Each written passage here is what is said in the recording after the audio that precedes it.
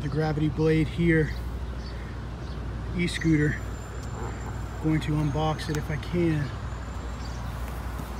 It's gonna be something quick.